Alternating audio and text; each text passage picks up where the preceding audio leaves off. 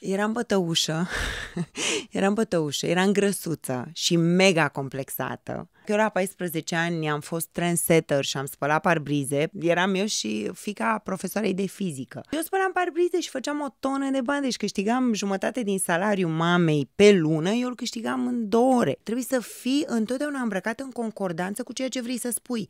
Că nu pot să par o perioadă, să-mi doresc să fiu o persoană serioasă și mă îmbrac uh, uh, total ciudat sau vreau să fiu o persoană, uh, eu știu, dezvoltă și asta e... Și de fapt eu mă îmbrac super rigidă. Eu nu vreau să creez dependență clientului, eu vreau să le învăț pas cu pas și evoluăm împreună cumva.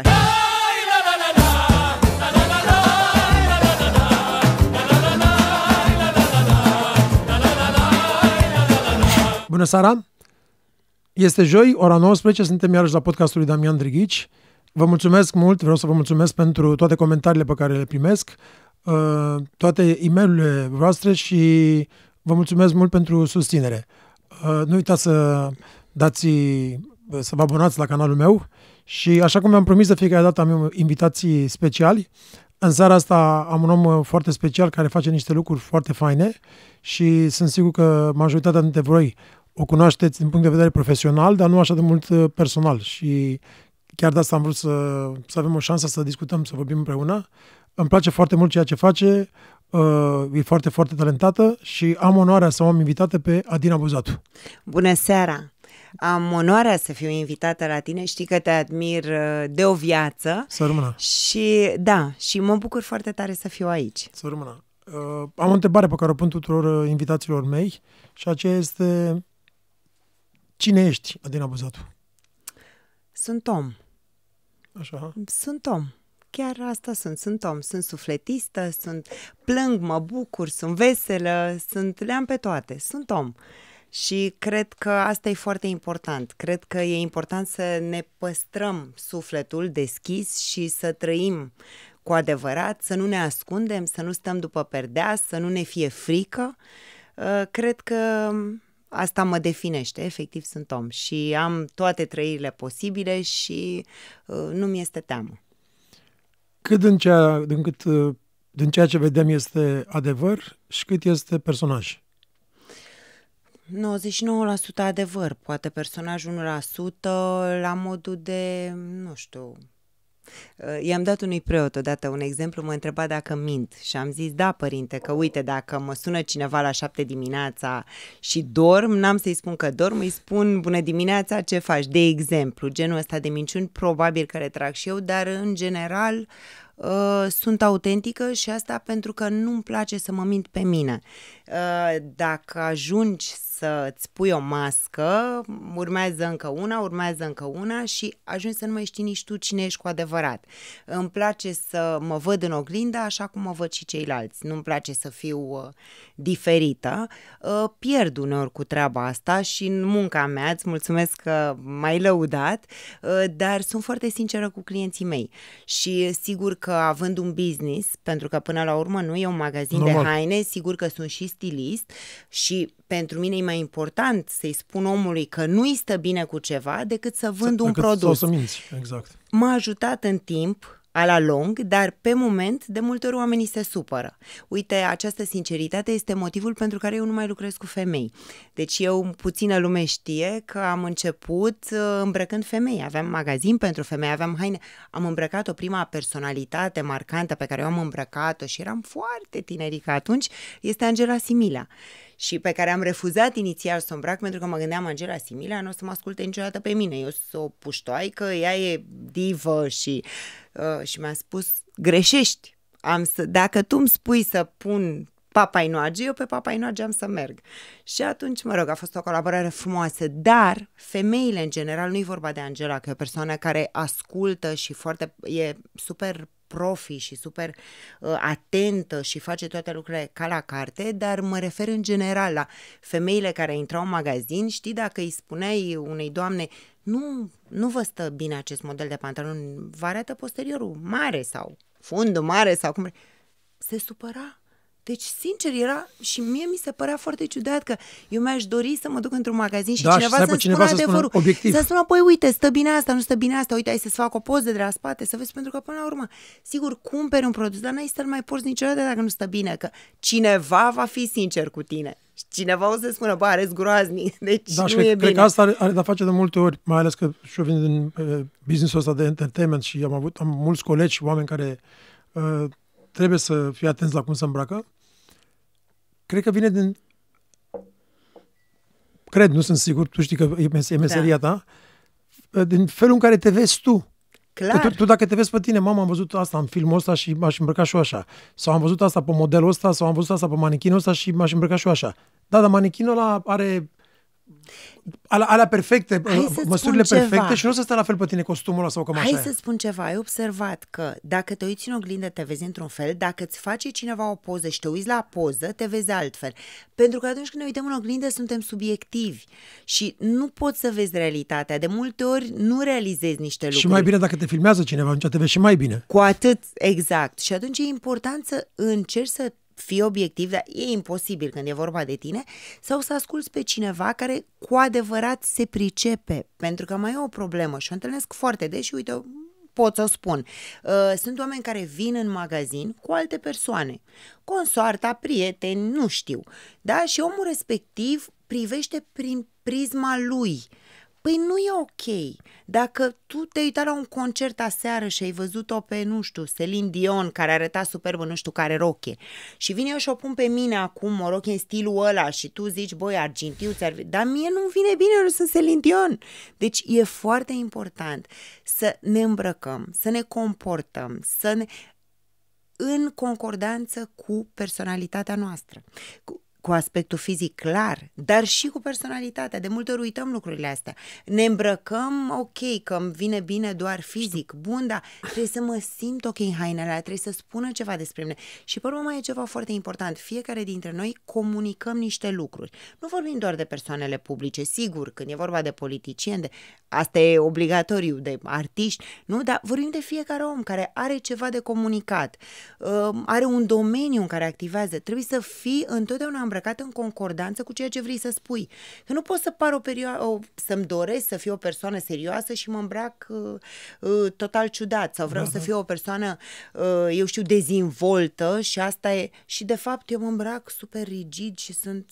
Și cred că, nu e asta, ok. cred că asta are de face, uite, de exemplu, am făcut uh, cu cineva, ne-a făcut uh, niște costume acum de curând pentru scenă și mie mi-a făcut uh, două sacouri foarte, foarte, foarte faine. Uh-huh. Cu elemente de astea, cred că le Mhm. Da, ții minte. da, da, da, da, da, Eu personal, în ultimii ani cu Damene Brothers, cu trupa, da. am- am fost totdeauna îmbrăcat în cămașe sau în tricou. Ceva, Da. da. da.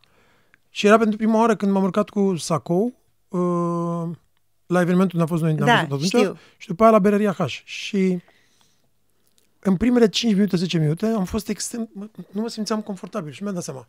Și mi-a- după, i- imediat am reușit să identific problema. Eu când sunt îmbrăcat la sacou, eu ca persoană, eu, dacă sunt îmbrăcat la sacou cu pantofi și costum, am alt body language. Așa e. Dacă sunt îmbrăcat în tenis sau în tricou, sunt mult mai, mai liber. Așa este. Am scos sacoul după mine și imediat eram ok. Și a doua oară am făcut același lucru și am spus, nu mai gata, nu mai vreau sacou. Pe scenă eu vreau cămașă sau tricou. Îți Pentru că- amintești discuția noastră Știu. dinainte de acest Da, eveniment? da, da, da, da. Fără să știu treaba asta. Dar te cunosc, iartă-mă Da. că te-am întrerupt, dar Nu, am așa e. zâmbit și eu, uite, vezi, am foarte mulți clienți de 20 de ani experiență, nu știu dacă e bine sau rău să spui că normal. pe urmă e vorba de vârstă, dar asta e, dou- nu, 25 de ani aproape am de Mulți experiență. Am văzut, mulțumesc, Doamne ajută și ție, uh, 30.000 de clienți probabil de-a lungul timpului și încep să simt lucrurile astea. Și e foarte important să identifici hainele care pe acel om îl pun în evidență, îl fac să se simtă confortabil, Confortabil. și mai e ceva, trebuie să și transmiți acest confort, pentru că Exact. de multe ori poate să fie o ținută care e foarte frumoasă, ți-ai dori să o porți, dar parcă nu știi să o porți. Și atunci eu asta fac, eu ajut respectivul om să devină confortabil în ținută, că atunci când are evenimentul respectiv sau Exact. momentul respectiv, să fie deja parte din el. Și bine, mai vine pasul următor, am foarte mulți clienți cu care lucrez de la A la Z și atunci, practic, Știi le exact cum schimb să-l cu totul, manageriezi. nu și le schimb cu totul toată Garderoba. imaginea, dar o fac pas cu pas.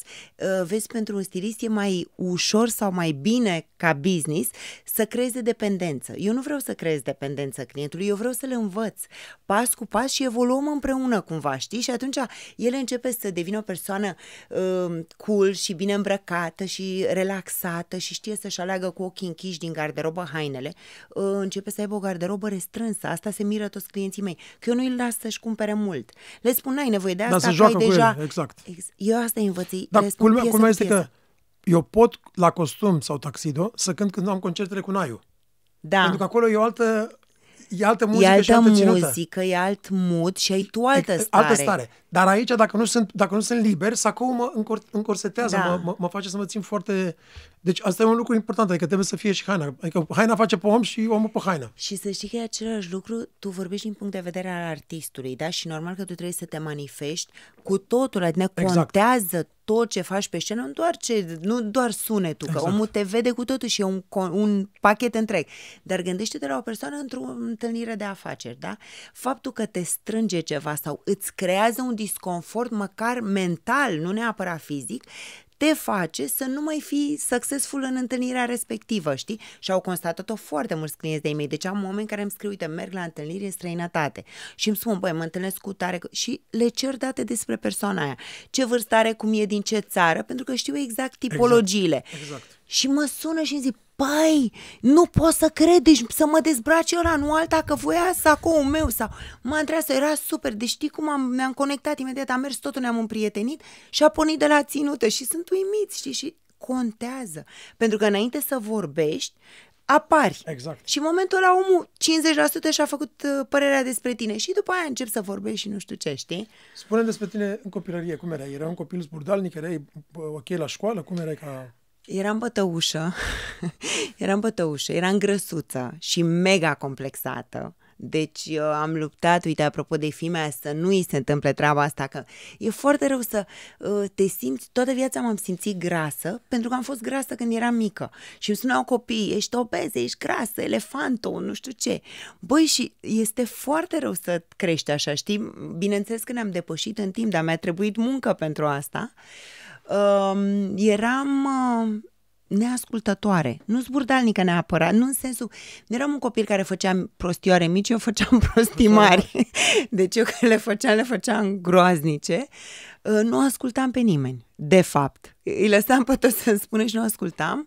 Aveam o relație extraordinară cu taică, mi Dumnezeu să-l ierte, la modul că Tata a fost un om, mă rog, cu o funcție, un om foarte um, important, așa, și ofițer și un om serios, dar uh, în familie era cel mai dulce și iubitor și cald și, știi? Și atunci am avut o relație extraordinară cu el, la modul că nu-l ascultam. Deci, efectiv, nu-l ascultam, nu-i ascultam. Sau, nu te duci, voiam să merg la o petrecere, nu te duci, aveam 15-16 ani. Și eu ziceam, ba, mă duc. Și mă îmbrăcam și îmi puneam o roche pe mine, care era șifonată. Bineînțeles că nu știu să calc nici astăzi, deci atunci nici atât.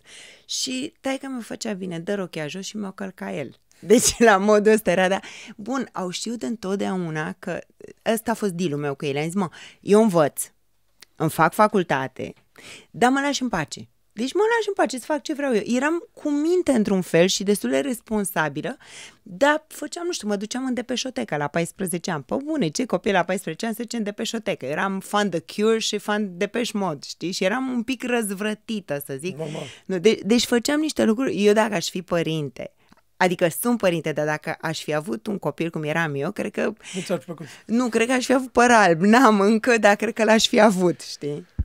Uh, La școală cum erai? Un student bun? Uh, învățam foarte bine, deci învățam foarte bine, dar eram superficială. Adică eu mă uitam peste lecții în 10 minute și după aia luam nota 10 și aplauze premiul întâi cu coroniță, știi? Ceea ce, mă rog, uh, a fost și bine, a fost și rău, pentru că mi-ar fi plăcut să fiu mai studioasă un pic. Mi-a plăcut matematica, mi-a plăcut fizica, în schimb au fost materii care nu-mi plăceau, mă descurcam, întotdeauna, deci aveam uh, metode, nu știu, mă descurcam, întotdeauna m-am descurcat. Uh, asta a fost și rău, uite, vă povestesc o chestie haioasă, primul examen din facultate. Apar, eu nu citisem nimic, lucram în casino, îți dai seama, eram surveillance în casino, am ajuns la 8 dimineața acasă, la 9 era examenul, eram cheaună, nu citisem. Erau vreo patru cărți, eu văzusem doar una, nici nu știam că există alte trei. Deschid cartea, mă uit, citesc o pagină și o închid și mă duc, zic, mă duc la facultate, dacă nu-l iau bine, asta e. Ajung acolo, colegii, patru cărți din care am învățat băzii, nici nu știam că sunt patru, deci am citit o pagină. Aia se uitau, îți dai seama, de-abia m-au cunoscut, practic, pentru că eu am fost, uh, n-am fost la, am fost la fără frecvență, știi? Nu mă duceam că lucram, aveam business, aveam copil, adică eram, făceam de toate.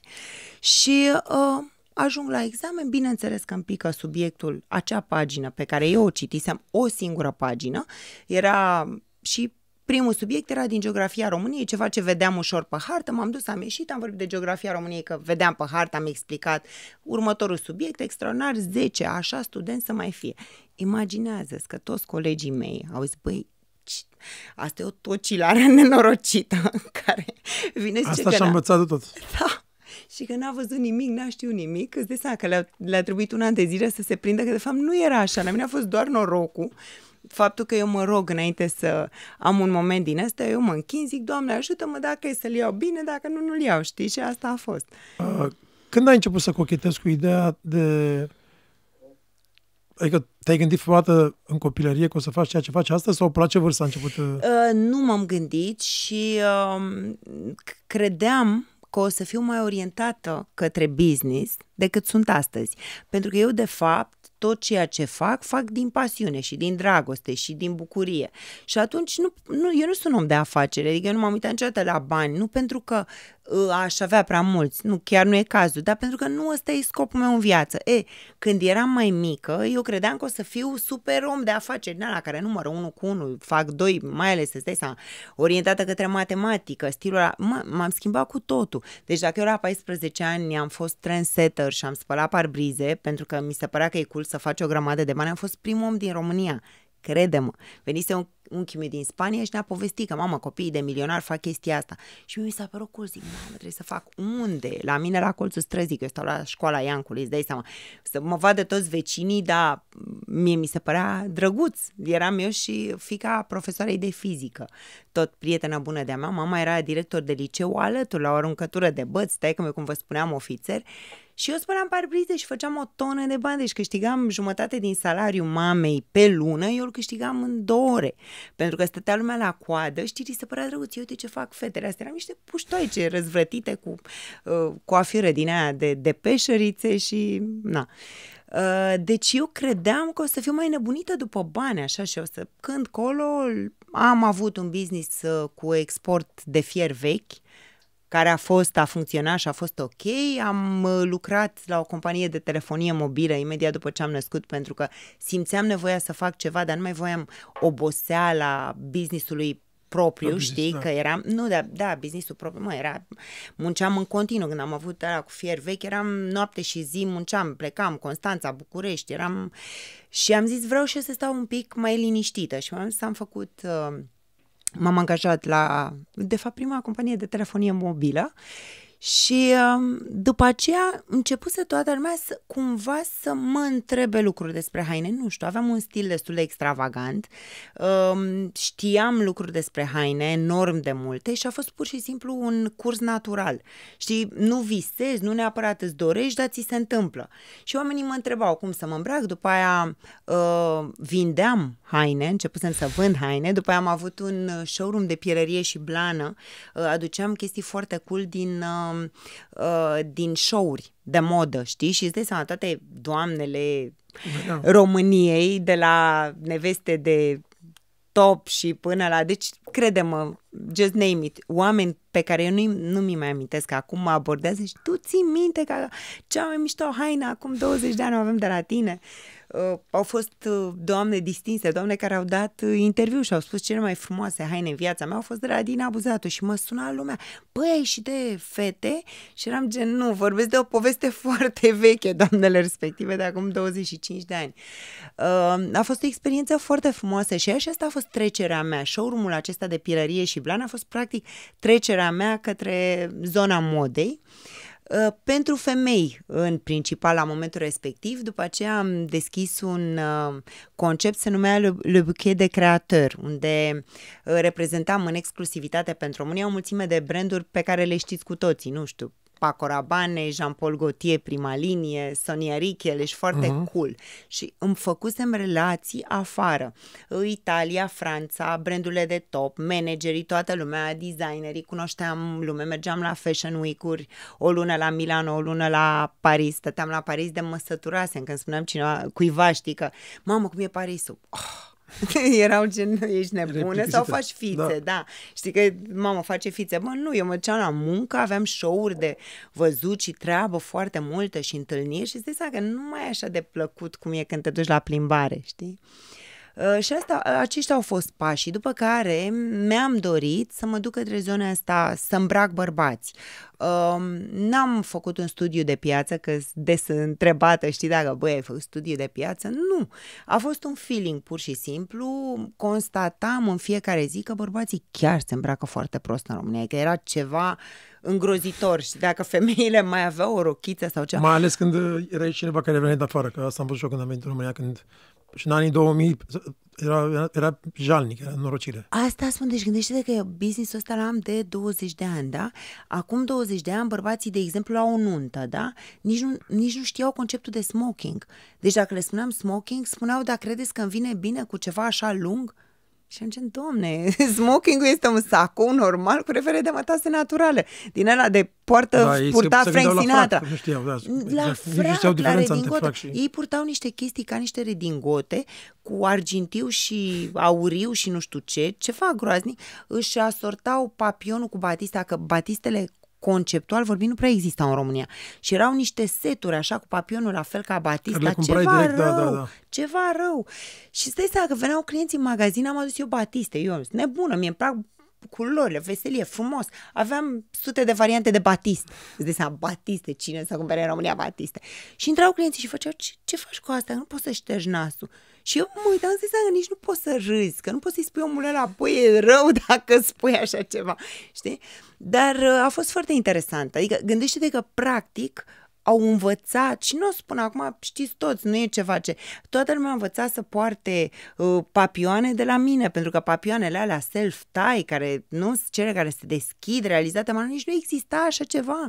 Deci se uitau la ele, dar de ce se face așa? Păi așa, așa trebuie să fie un papion, trebuie să fie o chestie tare care stă ca de pisoi la gât.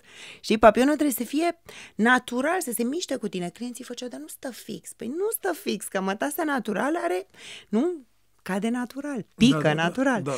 Și um, am, au fost multe lucruri la care am fost prima, show-urile de modă masculină, gândește-te că îmi spuneau oamenii, uite, vrei să faci un show? Sigur că da, câte modele trebuie? 10. Și mi-aduceau fete.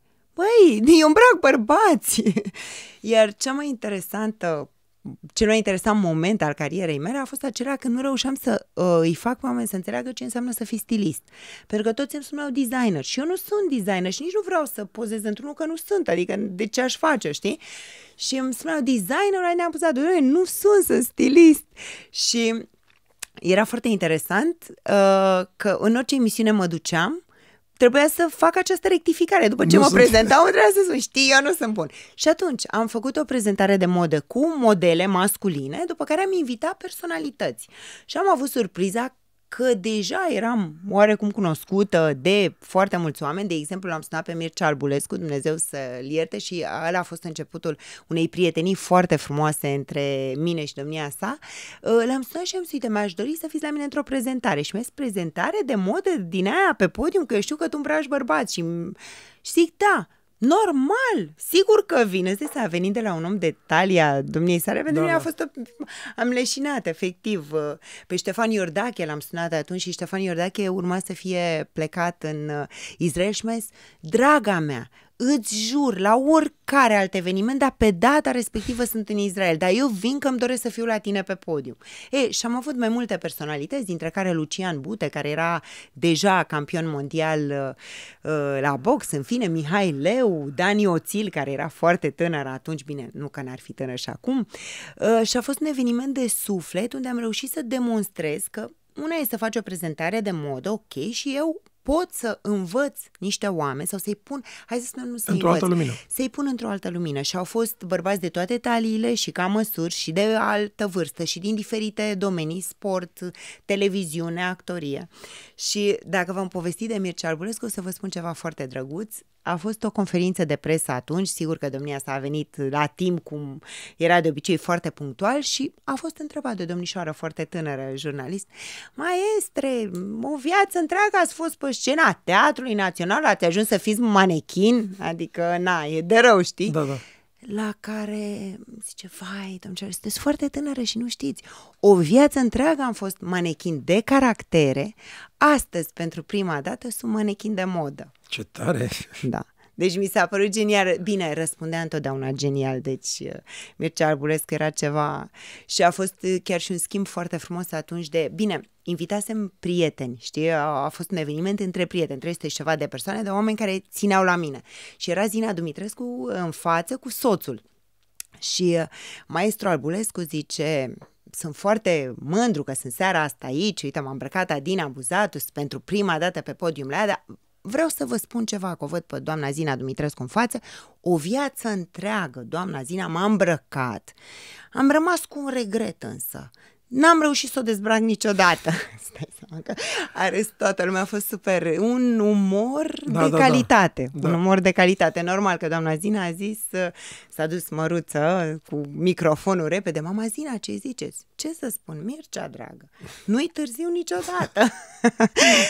Păi Da, și frumos. așa ușor, ușor ai început să construiești brandul tău. Am început să construiesc uh, brandul Transbite Neabuzatul, da. Uh, L-am construit cu dragoste, cu suflet, cu știi, n- n-a fost nimic ca business. Niciodată în toată perioada asta, eu nu m-am gândit, băi, câți bani fac dacă nu știu ce. Eu m-am gândit că îmi doresc să îmbrac oamenii frumos, să fie mulțumiți. Iar acum pot să recunosc că, uh, nu știu, culeg roadele dacă vrei. În fiecare dimineață mă trezesc și deschid uh, Instagramul sau Facebook-ul și primesc zeci de mesaje de la clienți diferite, cu poze de la evenimentele tare. lor, cu... Crede-mă, deci tu știi, tu mă poți înțelege, poate sunt oameni care zic, bă, exagerează, e nebună, nu poate să se bucure așa. Ca un copil mă bucure și mi se pare extraordinar când îmi spun sau mă opresc pe stradă. Uite, am avut mai devreme, astăzi am avut o programare la medic și așteptam în sala de așteptare și o doamnă a venit la mine și mi-a zis, nu mă știți, l-ați îmbrăcat pe soțul meu, doamne, a fost cel mai frumos, cel mai frumos. Mă, deci se face pielea de găină, îți dau lacrimile. Da. Uh, spunem despre tine și relația ta cu fica ta. Am înțeles că ai o fică. Da, am o fică, Sara, are 24 de ani. Mulți înainte să Uh, trăiască. Mersi, Doamne ajută. Uh, Este prietena mea cea mai bună. Și uh, Ea vine din căsătoria da, Da. da, da, da, da, despărțită de 20 și ceva de ani, deci de când avea Sara 3 ani. Și um, e prietena mea cea mai bună și mi s-a și confirmat acest lucru pentru că ast- o astrologă foarte bună, Nicoleta, eh, Nicoleta Ghiriș, mi-a spus că noi două am fost prietene într-o altă viață, cele mai bune prietene ce într-o altă tare! viață. Da, nu știa relația noastră foarte bine. Interesant a fost că cine mi-a făcut cadou această astrogramă uh, la Nicoleta Ghiriș nu i-a dat și numele. Pentru că, normal, știi, în momentul în care Da, e da, vorba da. de o persoană publică, te-a pus și nu. Și mi-a spus toate lucrurile astea și mi-a făcut paralela între astrograma mea și a Sarei și după aia, da, noi eram și fix cele mai bune prietene. Asta e relația mea cu Sara, ea mai responsabilă, eu mai puțin, din totdeauna, deci poate că eu am forțat-o prin modul meu de a fi să devină foarte responsabilă, pentru că eu sunt genul aeriană, ți-am zis, nu mă uit, nu știu, nu sunt atentă la niște lucruri, eu sunt foarte bucuroasă, să ajut, să fie bine, toată lumea fericită, colorat, vesel, a? și ea este un pic mai organizată, balanță, ea îmi pune lucrurile în, uh, știi, În după ordine. mine tot timpul în ordine și mami să nu uiți aia, mami cu tare, mi organizează, îmi facem drege.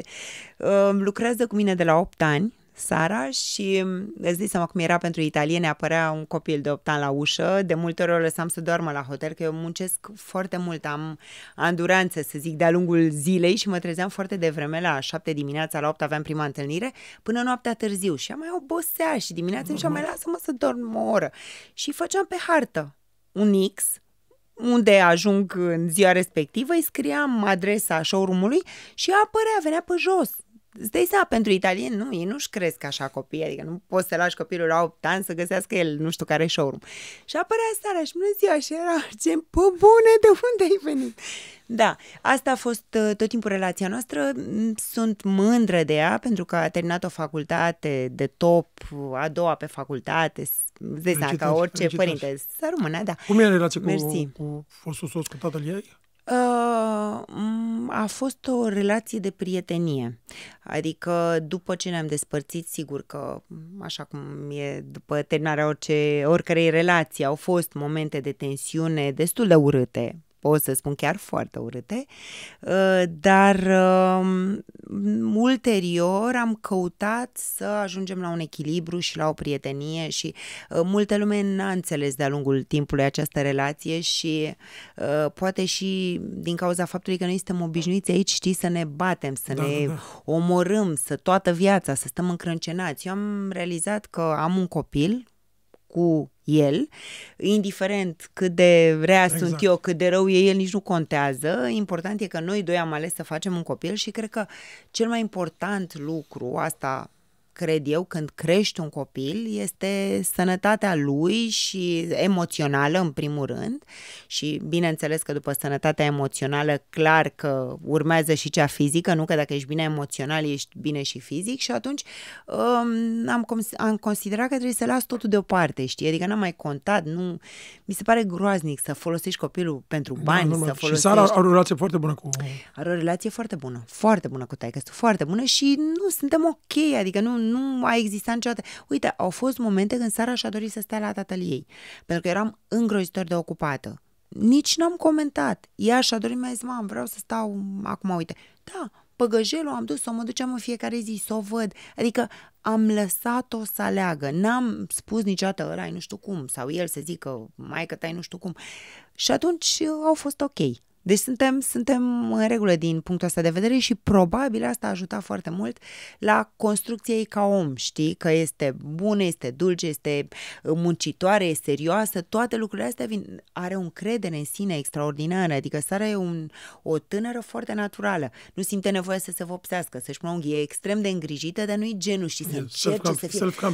Să umble pe tocuri, nu știu, sau să facă, e relaxată, se simte bine în pielea ei, merge la sport, are, are o stare de bine, știi? Nu și trăiește în România. Trăiește în România, trăiește și în România. Și în România e internațională într-un fel pentru că a fost la studii în străinătate și atunci uh, a, s-a obișnuit acolo, are foarte, foarte mulți prieteni acolo, a, masteratul a continuat la Londra și a fost între Londra și București, ea deja lucrând, la momentul ăla a lucrat deja de 2 ani la o companie din Londra, deși înainte trăise la Lausanne, știi, și de la Lausanne lucra, când a venit uh, în țară a rămas să lucreze la compania respectivă, lucrează bineînțeles și cu mine că uh, trebuie să-și susțină mama.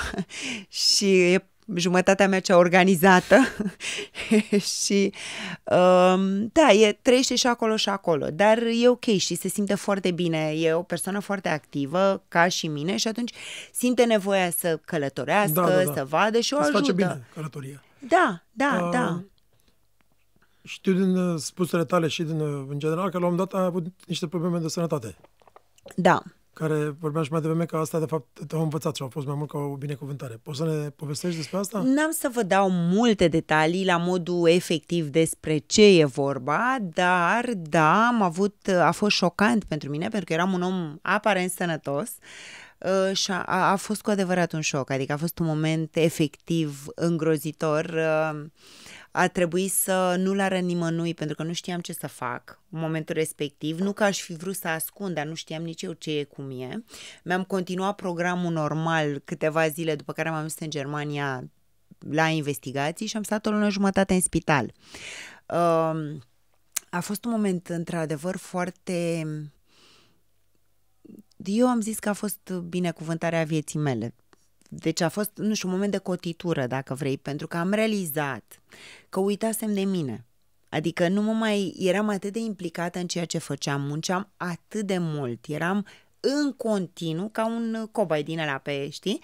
Și mi-am dat seama că, de fapt, nu mă regăseam, de, nu, nu mai eram eu deloc în toată ecuația asta. Eu eram dată deoparte și totul era despre munca mea, despre... și am stop nu. Am plâns o zi, când am aflat diagnosticul, am plâns o zi, eram și singură acolo și am plâns, a fost așa un șoc din ăla, că știi, nemții sunt foarte, la nemți nu e cu lulu, lulu, stai să-ți povestesc frumos. Nu, mese la, uite, șanse ai atât așa, atât așa, atât așa.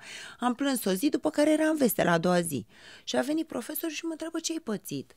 Și zic nimic, mi-am dat seama că viața e foarte frumoasă. Stai să se uita la mine, gen nu, nu, Ciudat. nu.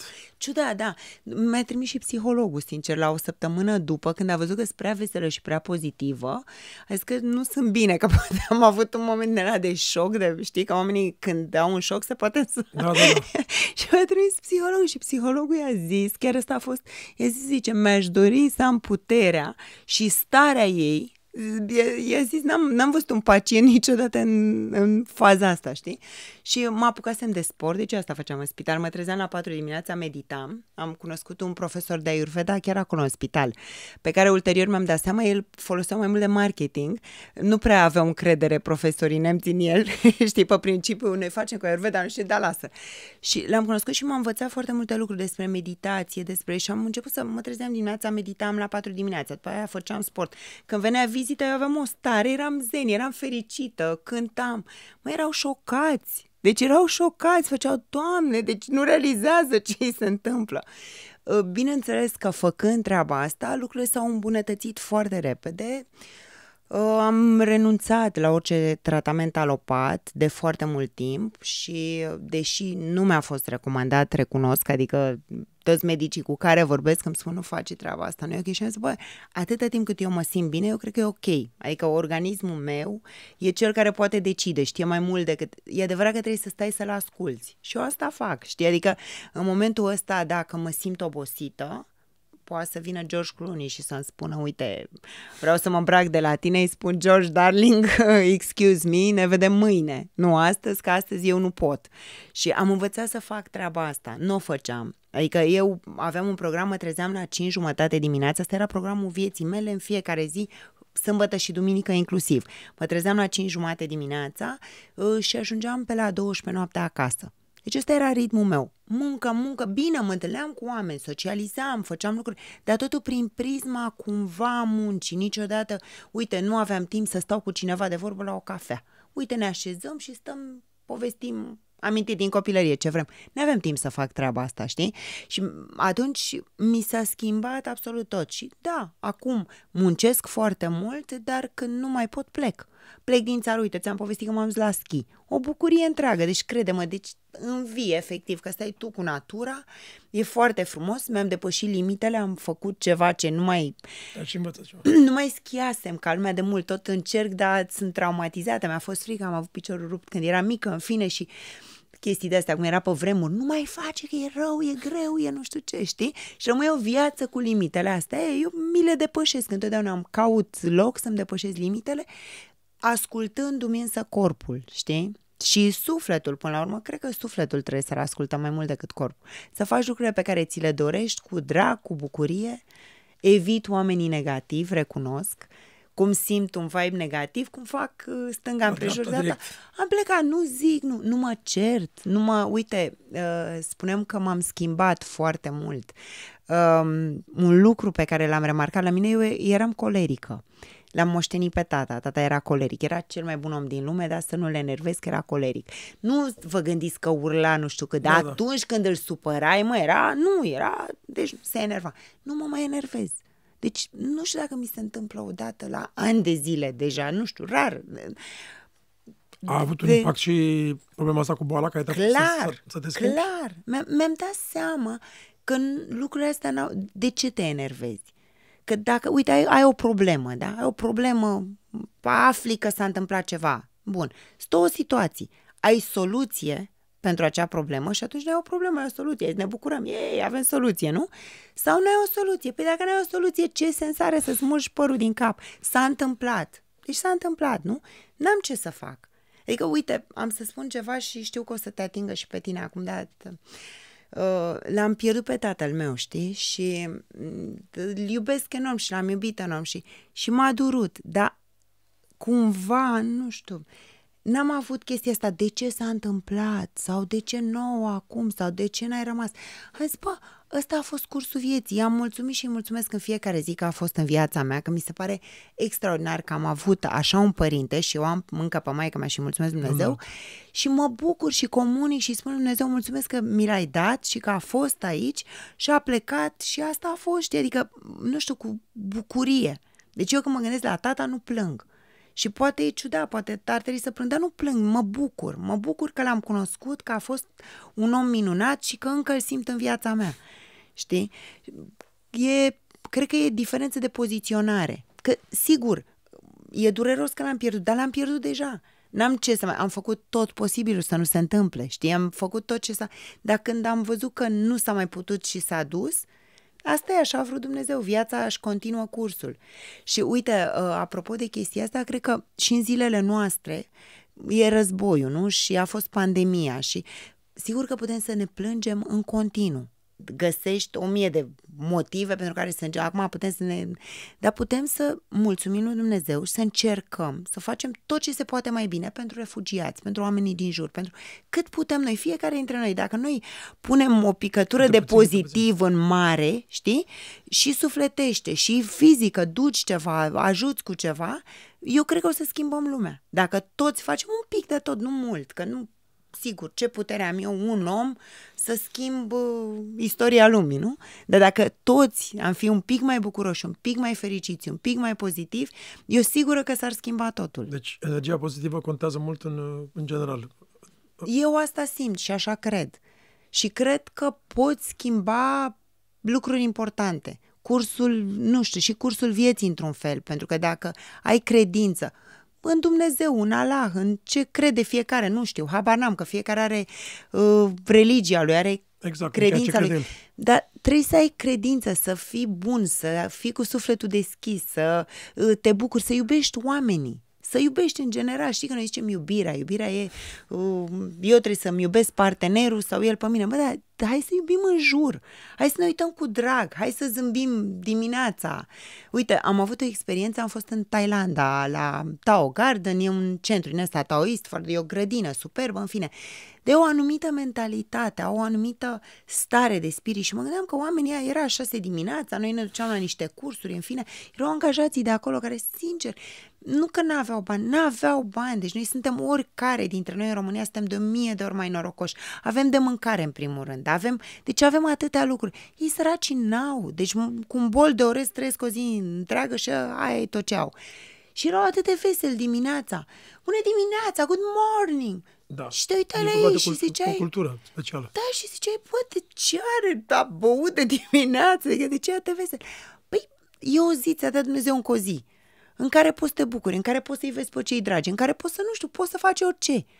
Nu-i suficient că ne-a dat lucrul ăsta? E incredibil să poți să, să apreciezi, să fii grateful. Asta vrei să spui. Cred că e incredibil și cred că e necesar. Pentru că noi căutăm fericirea, dar avem senzația În că continuu în fericirea... altceva, în altceva. Da, noi avem senzația că, senzația că fericirea stă în niște bunuri, multe case, mulți bani, multe mașini, multe gagici, habar n-am, domnii, nu știu, chestii de genul, haine, Ceva, bijuterii, ceva din ce- afară. Ceva din afară. În afară, nu, dar nu, nu bucuria e în, dinăuntru. în interior. Deci, de multe ori îți, îți vine așa o bucurie de la nimic. Și aia este fericirea cu adevărat.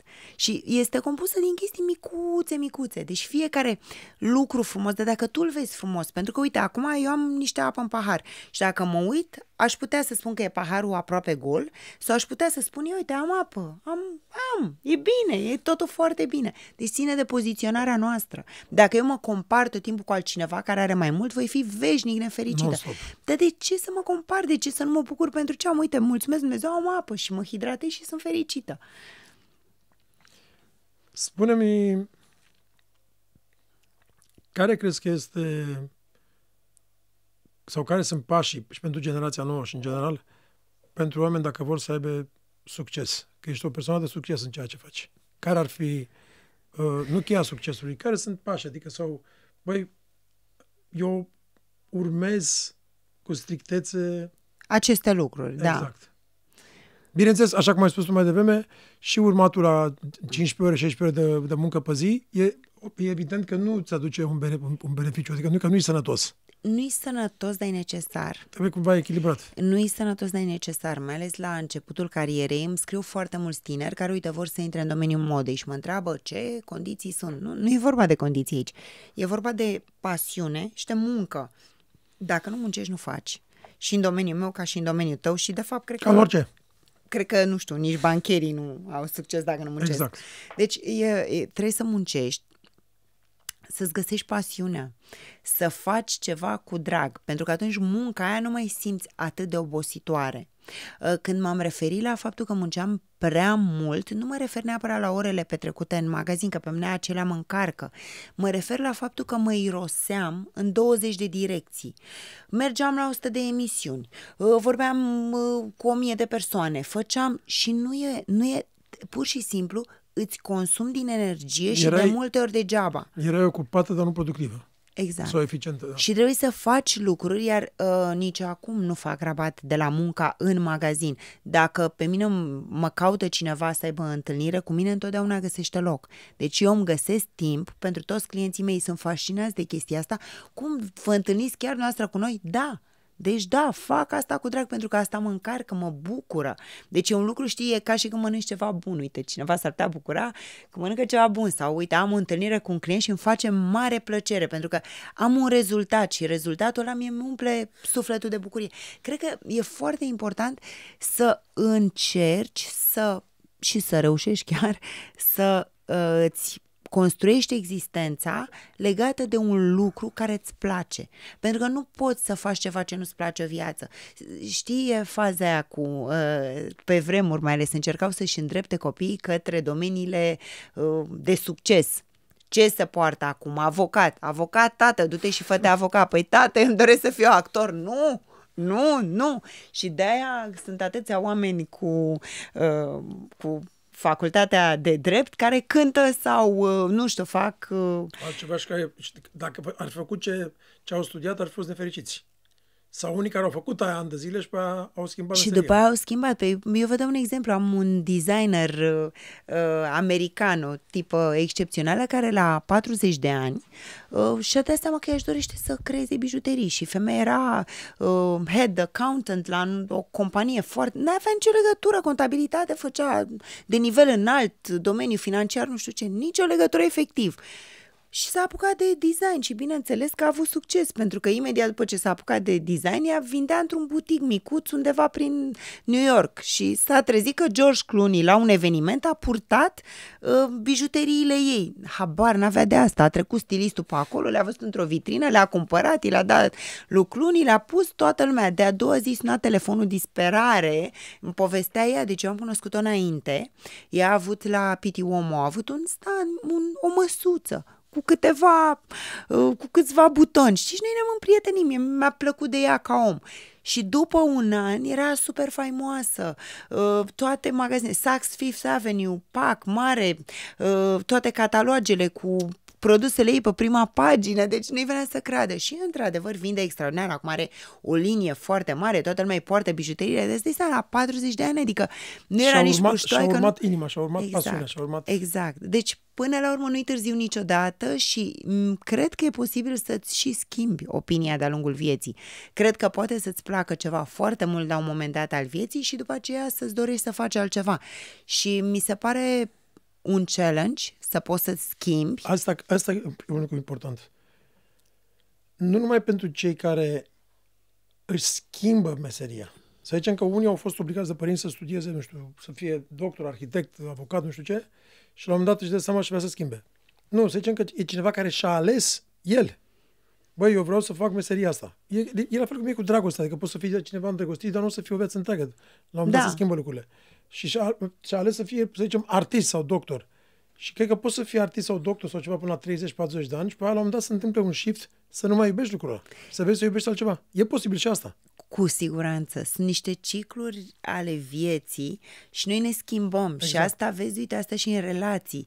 De-aia poți să fii foarte apropiat de cineva la un moment dat și lucrurile pur și simplu să se schimbe. Nu-i vina mea, nu-i vina ta, nu-i vina nimănui. S-a întâmplat, pur și, și fără simplu. să intervină altcineva în relația. Și fără să intervină, Pur și nu, simplu, nu ne, mă, și când intervine altcineva, de fapt când intervine altcineva, e vorba de faptul că nu mai e aceeași chimie Exact, între... Nu exact. există a intervenit cineva și, domne, l-a luat, mi-a luat bărbatul. Asta eu când aud asta pe mine mă furnește râsul. Nu există așa ceva. Eu cred că oamenii pur și simplu sunt liberi să simtă niște lucruri și se poate întâmpla să te îndrăgostești de altcineva. Important e să ai maturitatea și sinceritatea să tratezi uh, cum trebuie, nu să te Exact. apuci să faci tot felul de combinații, să rănești 200 de persoane în proces, știi? Măcar încerci să clarifici cumva. Asta așa văd eu lucrurile. Da, da, cred că se schimbă. Și, de fapt, cred că nici noi și noi, nu știu dacă ți se întâmplă, dar ai momente când nu te placi tu pe tine. E normal. Care este cea mai mare frica ta? Cea mai mare frica mea, cea mai mare frica mea. Puh. Uh, da, uh, am avut o frică foarte mare de moarte. Uh, când eram mică și o perioadă din viața mea, nu neapărat moartea mea, moartea celor din jur. Deci mă trezeam plângând și ziceam că aș vrea să se inventeze o pastilă, ceva, să trăiască părinții pentru totdeauna și să... Oamenii, eu sunt cu oamenii din jur, deci să fie, nu știu, Totul așa am bine. fost eu, da, totul bine. Și plângeam și aveam, dar uh, în momentul ăsta să știi că nu am o frică. Uh, Și nu am pentru că l-am descoperit mai profund pe Dumnezeu, am descoperit că mm, suntem oricum suntem în mâinile universului, dacă vrei.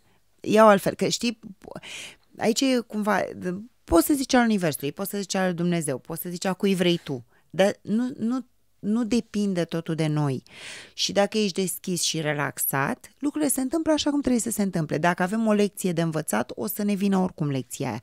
Dacă nu învățăm, o să ne luăm de 249 de ori până când ne plictisim de ea și în viața asta și în viața următoare și în cealaltă. Dacă asta e, știi cum, ca la școală. Rămâi repetent, o iei încă o dată. Exact. Rămâi... Și atunci n-are sens să ne să ți, mi-e frică de Nu mi-e frică de nimic. Eu cred că dacă e să se întâmple, se întâmplă. Cred că ce putem face e să găsim partea bună în tot ce se întâmplă, pentru că să știți că întotdeauna acolo mic ceva este bun. Nu știi dacă nu îți loveai mașina astăzi și nu mai puteai să pleci cu ea, nu știi dacă nu cumva nu știu ce ți se întâmpla și puteai să ai un accident mortal, habar n-am. De exemplu, nu știm lucrul ăsta, nu? Și atunci privește partea bună. Zic, bă, Doamne ajută, bine că sunt. Întotdeauna când mi se întâmplă ceva, zic, Doamne ajută, bine că asta e bine sau chestia asta e ok. Și asta e, mergi mai departe, știi? Deci nu, n-am frică. Știu că dacă spun asta, mă, se zică, uite, bă, pe aia neînfricată. Dar nu e vorba de asta, chiar nu am frică. Ce fel de bărbat trebuie să fie bărbatul care o face pe uh, Adina Buzatu să cadă în cap după el? Uh, aș vrea să spun că dacă aș ști, îl aveam deja, dar nu era o glumă asta. Um, să aibă simțul umorului, în primul rând. Uh, da, asta e. Deci calitatea numărul unu, condiția fără Simțul de care umorului. nu se poate, da, e simțul umorului. Uh, și deschidere, nu știu, să fie un om deschis la minte. Nu trebuie să fie neapărat înalt, scund, roșcat, brunet, n-am astea, nu. Pattern-uri de genul, nu. Dar să fie deschis, să fie sufletist, să fie, nu știu, să fie o conexiune. Pentru mine conexiunea e foarte importantă. Nu ce zice lumea, nu partea financiară, nu, nu știu. Chimia, N-am avut chimia. niciodată. Chimia. Că știi ce se întâmplă? Sunt o persoană independentă și nu am nevoie să fiu într-o relație cu cineva doar pentru că omul ăla mă face, nu știu, mă, Altfel.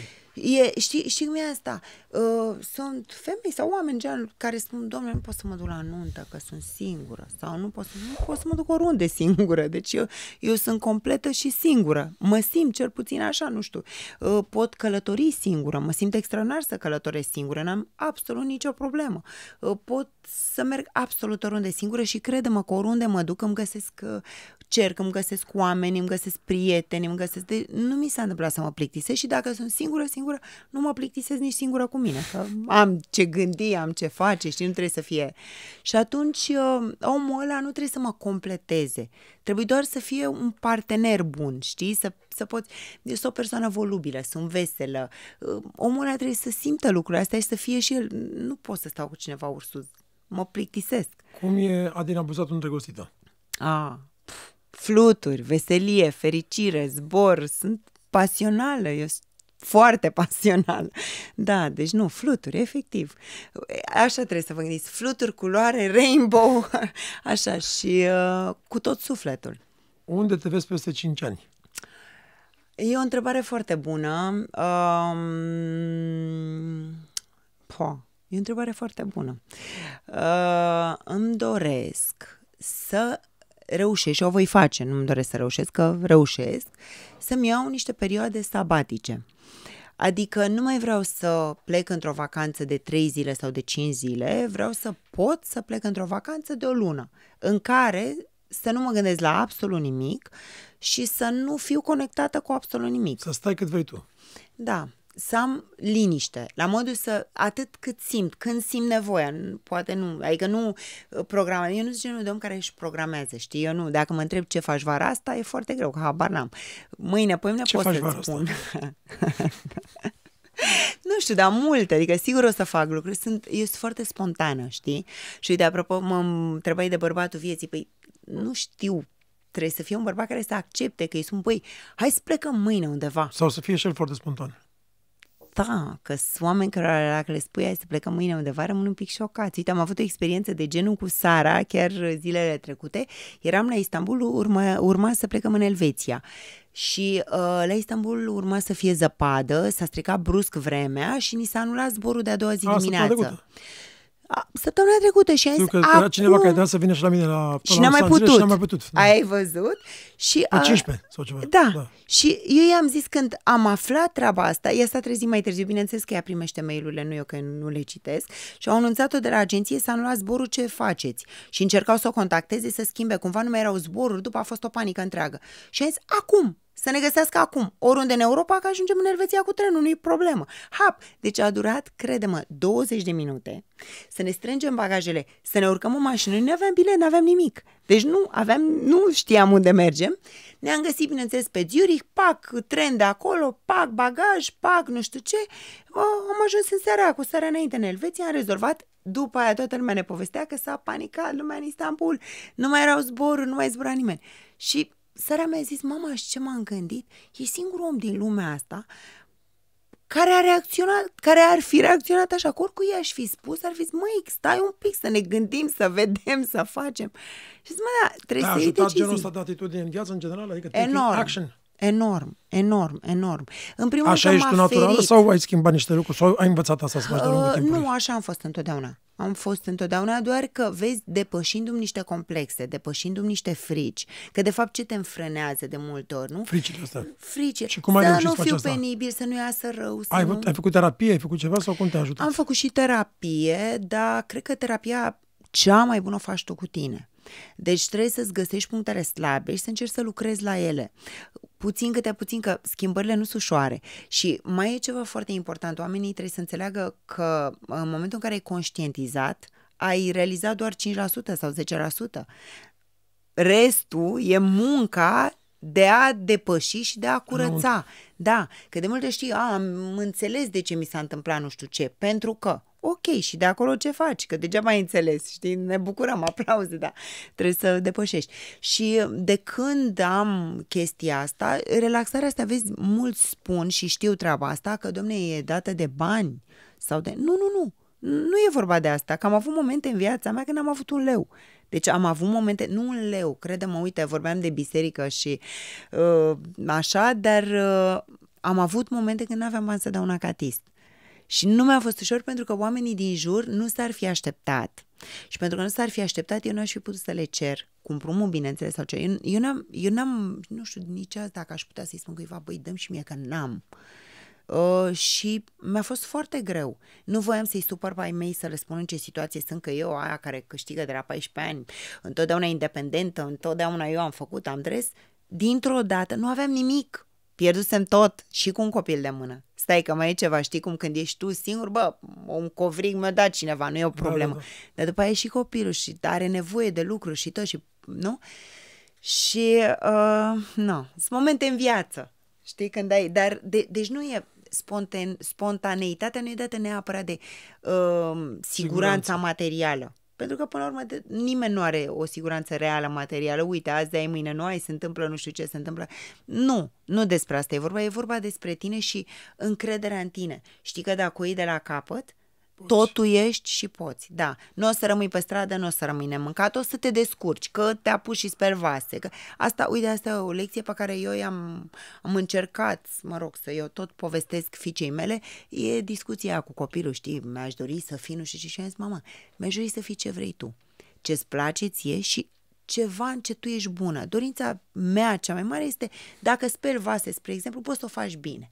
Adică asta e, asta e jobul meu, nu contează ce sunt. Păi da, fac cu pasiune și fac bine. Nu-mi doresc să fii director, să fii nu știu ce, nu vreau nimic. Vreau numai să faci cu drag și Ceea ce bine. faci. Da, nu, să, să nu fii superficială, pentru că asta e cel mai rău, știi, când te faci că faci, dar tu de fapt nu faci. Ești o persoană credincioasă? Da. Sau religioasă? Sau... Nu, sunt credincioasă, nu neapărat religioasă, sunt apropiată de biserică, dar nu în sensul în care, uite, nu știu, nu sunt habodnică, da? Uh, cred că trebuie să fim un pic mai deschiși și am întâlnit în viața mea și mulțumesc lui Dumnezeu preoți care m-au ajutat în a păstra această deschidere. Da. Pentru că m, le-am explicat ce simt și le-am explicat că eu intru în orice biserică să mă rog. Pentru mine, dacă e ortodoxă, dacă e catolică, nu știu, dacă simt nevoia să intru într-o biserică, eu intru în ea și mă rog. Uh, Și îl găsesc pe Dumnezeu acolo. Deci de fiecare dată eu l-am simțit pe Dumnezeu și dacă nu m-am rugat în biserică, m-am rugat în altă parte, l-am găsit pe Dumnezeu și în locul respectiv. Deci eu cred că regulile astea cumva pot îndepărta oamenii de biserică. Știi că dacă îi spui unui om, uite, fumezi, păi 20 de ani de acum încolo nu te mai împărtășesc, omul ăla o să consideră că el 20 de ani n-are ce să mai caute la biserică. Și de fapt, cred că trebuie să fim apropiați. Asta, asta e ce simt eu și uite, am, am avut norocul să discut și să mă apropii de preoți care m-au înțeles și chiar mi-au explicat că și ei fac lucrul ăsta, apropo de enoriași, de oamenii care vin la ei, pentru că trăim într-o lume diferită. Nu, nu, nu mai este lumea de acum uh, 100 de ani, 200 de ani. Exact. Și uite, nu ascultam muzică. Mi s-a întâmplat să-mi spună la o spovedanie un preot treaba asta și eu am spus, părinte, dacă dumneavoastră îmi spuneți asta, e imposibil. Eu ascult muzică, în primul rând pentru că îmi bucură sufletul, simt așa bucuria aia aici care e foarte importantă pentru mine și în al doilea rând că și dacă n-aș dori să ascult muzică, aș asculta-o din greșeală. N-am, n-am cum. Nu pot să... Nu, deci de, dacă îmi spuneți asta și am zis atunci, părinte, dacă îmi spuneți treaba asta, o să mă face să nu mai vin aici la biserică, pentru că o să consider că nu sunt bine primită. Și eu nu cred că Isus Hristos sau Dumnezeu asta e ce își doresc de la oameni, că există muzică pe lume și muzica asta ne bucură sufletele și înseamnă că e ceva bun, nu? Dacă ai avea 48 de ore de trăit, ce ai face?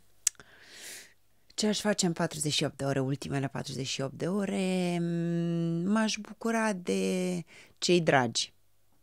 M-aș bucura de cei dragi. Eu, Nu știu, m-aș bucura. M-aș bucura. Cred că ar fi un moment de bucurie. Um, Da, o să vă spun ceva. Uh, Tatăl meu a simțit că e ultimul moment, știi? Și cumva m-am dus la el în dimineața, bine, mă duceam în fiecare zi să-l văd și tot, și m-a luat de mână și s-a uitat în ochii mei. Deci, Damian, am văzut așa o bucurie și o liniște în ochii lui. Deci n-am să le uit niciodată. Mă, liniște. O stare de fericire absolută, nu știu cum să-ți spun. Singurul lucru mi-a zis, sper că o să fii bine, tată. Îmi doresc să fii bine. Atât. Deci a fost asta a fost pentru el. Să fim noi bine. Deci el ăsta în urmă. Mă, da, el era așa echilibrat, bun, fericit, liniștit. Deci este așa o Împăcat. împăcat. Și cred că asta, da, dacă mi-ar spune cineva sunt 48 de ore, cred că oricum știm. Eu cred că știm. Ultimele momente eu cred că le simțim într-un fel sau altul. A, și mi-aș cere iertare. Da, da, da, și mi-aș cere iertare. Iartă-mă. Dar Știu m-am gândit ce aș că mai face. în curând este ziua ta Da. și Și împlinesc 45 de ani, că eu spun, Mulțumim. am o problemă. cum o să, cum o să sărbătorești? Măi, cu prieteni. Cu prieteni, cu echipa mea de la magazin, cu Sara, cu am eu mai multe găști, știi? Și asta aici e problema întotdeauna, că am mai multe găști și cumva aș vrea să pun pe toată lumea împreună, dar ar fi nu sute de să- persoane, da. nu pot și atunci îmi place să fiu cu toată lumea. Um, nu mi-am sărbătorit toate zilele de naștere, de multe ori am simțit să nu o fac efectiv ca petrecere, petrecere, uh, dar uh, pe mine mă bucură încă un an în plus. Adică e, vine cu experiență, vine cu bucurii, vine cu altă, nu știu, în fiecare etapă a vieții trăim diferit Exact. și vedem lucrurile diferit, știi? Și mă bucură chestia asta, că mă uit de fiecare dată și zic, ia uite, uh, acum e altfel decât gândeam atunci sau și mi se pare extraordinar. Cred că vin lucruri frumoase întotdeauna, știi? În finalul podcastului de obicei întreb pe fiecare invitat un lucru. Să, să zicem că peste 50-100 de ani sau ceva undeva pe un, o realitate virtuală sau YouTube unde o fi pe un chip, cineva să uită și ne, ve- ne, o să ne vadă și pe noi un puști undeva în lumea asta, de România sau de oriunde, și aș vrea să spui un, un citat ca un citat care este al tău propriu, în urma experiențelor pe care le-ai avut în viața ta. Adică ce ai recomanda oamenilor? Da. Citatul tău propriu, adică Adina Buzatu quote. Stai că mă gândesc acum, pentru că m-am gândit la ceva ce să postez acum mâine de ziua mea. Am să postez uh, acest lucru, dar lasă-mă să mă gândesc. Că l-am gândit frumos și o să-l pun, dar am să ți răspund ție acum. Uh, m-am, m-am gândit în general la viață și m-am gândit uh, la faptul că uh, e bine să nu te uiți în urmă decât ca să înveți sau să te bucuri de realizări uh, e bine să trăiești ziua, că astăzi e singurul lucru, rea, singurul moment real, palpabil și adevărat. Uh, e bine să îți dorești, dar să o faci uh, pozitiv, să o faci, să-ți dorești să realizezi lucruri, nu ca să ai, nu ca să, nu știu cum să spun, nu din... Um, avarie, din, nu știu, nu să aduni, nu-mi doresc să am un munte al meu, îmi doresc să am un palat al meu, nu, să-ți dorești să faci lucruri, să realizezi lucruri ca, lucruri ca să lași ceva, ca să bucuri pe cineva, ca să te bucuri pe tine. Deci din punctul ăsta de vedere, nu din punctul de vedere a strânge, a arăta, vedea. Așa și nu știu, asta, asta am făcut eu în viață și m-a ajutat de fiecare dată. Deci lucrurile astea pe astea le-am făcut eu și de fiecare dată, știi, au fost... Uh, și privește jumătatea plină a paharului. Vei fi întotdeauna fericit dacă picătura aia care e pe fundul paharului pe tine te bucură. Întotdeauna vei fi fericit.